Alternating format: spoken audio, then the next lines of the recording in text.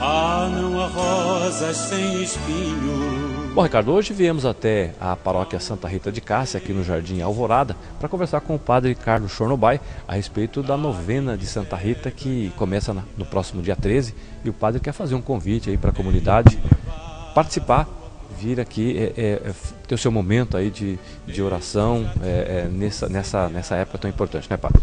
Isso mesmo. Então, no mês de maio, todo mês de maio, nós comemoramos aí, celebramos a novena de Santa Rita de Cássia. É assim um momento bastante bonito de fé, de devoção das pessoas que têm Santa Rita como um exemplo de pessoa, de mãe, de mulher, de esposa. Então, próximo dia 13 de maio, nós iremos iniciar esta, este momento de fé. Nós teremos celebrações tanto à tarde quanto à noite. À tarde, às 15 horas, nós teremos a novena perpétua Santa Rita de Cássia. E à noite, a cada dia, a partir do dia 13 também, né? Tanto à tarde quanto à noite, às 15 horas da tarde, à noite às 20 horas, com a celebração da, da Santa Missa. Cada dia é celebrada, presidida por um padre diferente aqui da, da nossa diocese.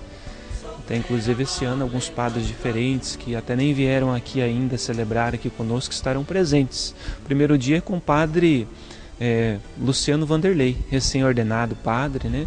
Então estaremos aqui nos reunindo e esperamos contar com a presença também dos fiéis, que a cada ano se fazem presentes e convidar a todos também. Talvez se você não tenha ainda participado da, das celebrações da novena de Santa Rita, é uma oportunidade para fazer a experiência. É um momento de fé, é um momento de relembrar o, o que Santa Rita fez aí como mãe, fez aí como serva fiel.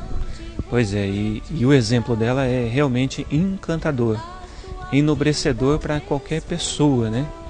É, Santa Rita deu um testemunho admirável, admirável aos olhos humanos e também certamente com isso também chegou até a, o seu exemplo ao céu, porque hoje ela é considerada santa, né, pela igreja, por todo o seu exemplo, por todo o seu testemunho, e sobretudo também pelos pelos milagres, né, que por meio da intercessão de Santa Rita, né, foram alcançados por tantas pessoas que nela buscaram exemplo a esse esse fato de pedir a sua intercessão, né? Então, realmente, ela é uma alguém muito especial diante de Deus. Agora, padre, é, é, na novena pode participar não só o pessoal aqui da comunidade, mas uh, os amigos aí da região, das comunidades vizinhas também podem é, se fazer presente. Com certeza.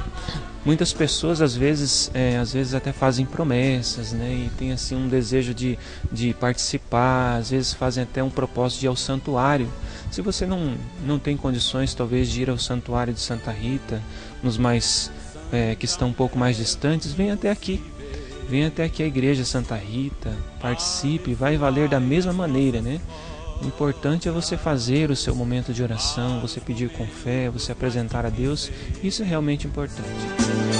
Você a rosa preferida,